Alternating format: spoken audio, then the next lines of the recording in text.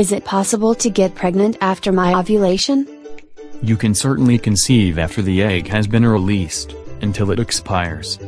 It does not last very long. The egg lasts about 24 hours or one full day.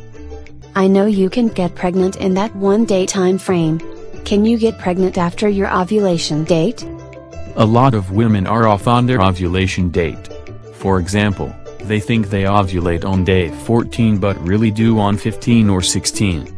At that point, you're only getting pregnant after the day you think you're going to ovulate. Your body is on schedule, but your brain is not. I've heard you could get pregnant several days after your ovulation date. There are women who ovulate on day 18 or day 20, but that is so late the egg cannot really take root.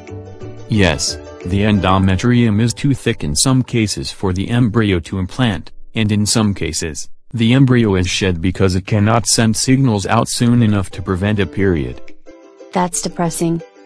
But that's not pregnancy after ovulation but late ovulation. How is it treated?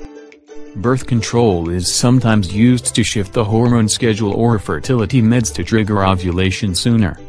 Yet I've heard you can get pregnant after ovulation. Technically, that's true for everyone. How so? It takes several days for the fertilized egg to make the trip down the fallopian tube to the uterus. You are not officially pregnant until it implants in the uterus.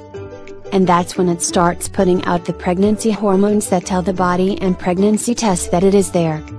So you'll have a true pregnancy a week to 10 days after ovulation. Why else would people think they were ovulating later than the real ovulation date? They looked for the basal body temperature spike indicating ovulation and were so excited bouncing up and down that they checked when they'd been too active for it to be valid. I know you have to lay still for 20 minutes for BBT to be accurate.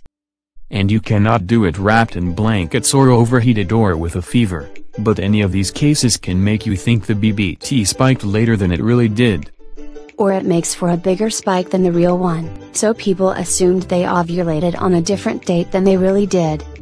There's a reason they track pregnancy from the last menstrual cycle, and this is why. Yeah, it is easier to be sure when you last started bleeding.